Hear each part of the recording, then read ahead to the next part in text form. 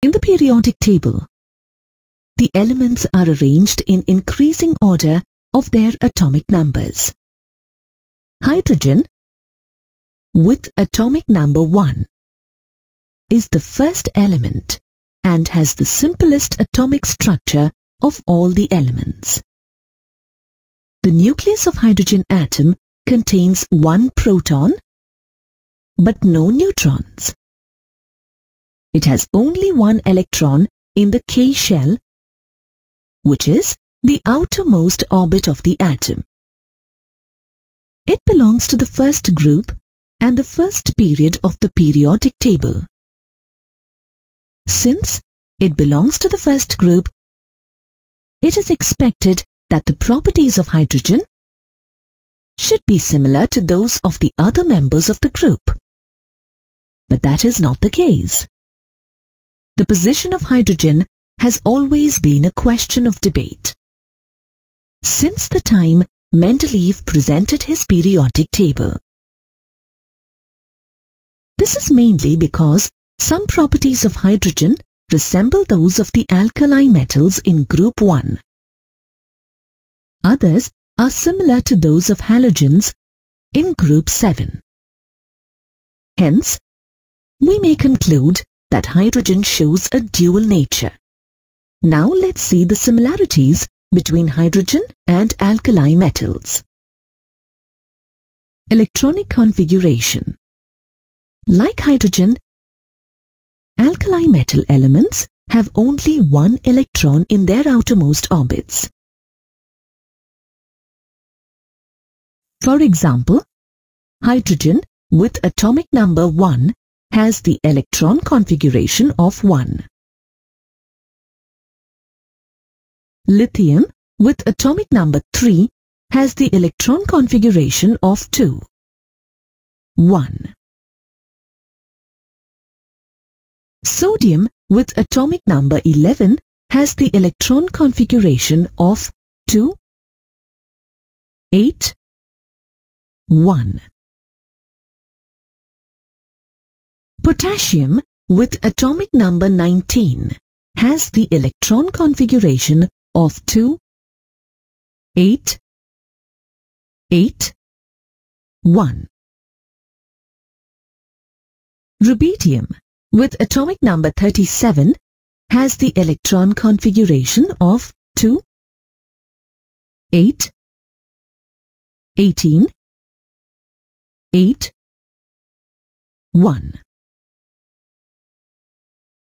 Cesium with atomic number 55 has the electron configuration of 2, 8, 18, 18, 8, 1.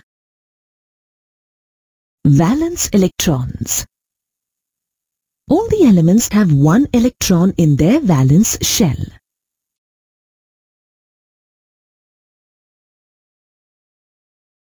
Valency All alkali metals, including hydrogen, have a valency of 1. Burning Alkali metals burn vigorously when heated in oxygen to form different types of oxides, depending upon the nature of the element. Hydrogen does the same. For example, hydrogen burns in oxygen to form water. Lithium forms a monoxide. Sodium forms a peroxide. Potassium, rubidium and cesium form superoxides. With the general formula MO2, where M stands for the metal.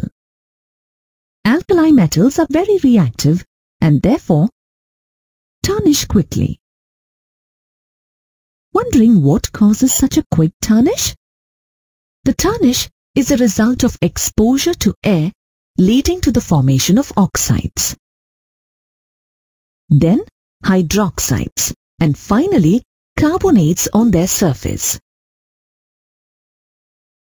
Due to their reactive property, alkali metals are always stored under kerosene. Combination with non-metals. Hydrogen and other alkali metals also react with non-metals such as oxygen, sulfur and chlorine. Hydrogen forms water, hydrogen sulfide and hydrogen chloride.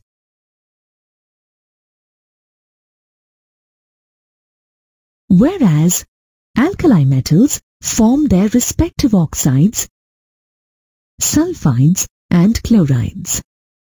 Ion formation Though the hydrogen ion H plus is known, hydrogen has a tendency to pair with an electron to form a covalent bond. With the help of these covalent bonds, hydrogen and alkali metals form cations. That is, positive ions through the loss of one electron.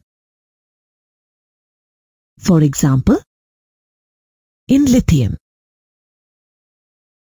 Hence, all these elements have an electropositive character. Reducing power. Alkali metals and hydrogen act as reducing agents.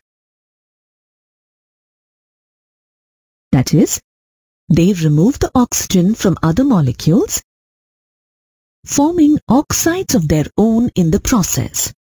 Now let's see the similarities between hydrogen and the halogens. Hydrogen is a gas, just like the halogens. Halogens and hydrogen are non-metals. Both have a valency of 1. Both exist in the form of diatomic molecules.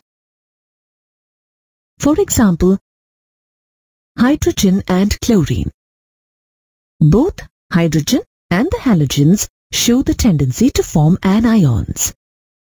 Thus, because of the anomalous behavior of hydrogen, it is difficult to assign any definite position to it in the periodic table. The credit for discovering hydrogen goes to the British scientist Henry Cavendish. He obtained it by the action of dilute sulfuric acid on metals and described it as inflammable air. However, later, when it was found that it was a constituent of water, Lavoisier renamed it as hydrogen, which means water former in Greek. Hydrogen is the most abundant element in the universe. It is found profusely not only in the atmosphere of the stars, but also of planets, including Earth. It is the ninth element in the order of abundance in the Earth's crust. In the combined state, hydrogen is available in water in abundance and it is 11.1% by weight. It is also available in other inorganic and organic forms like coal, petroleum, clay, and plant and animal tissues. Acids, alkalis, all hydrocarbons and proteins also contain hydrogen in the combined state. Did you know that sugar, starch and fats also contain carbon?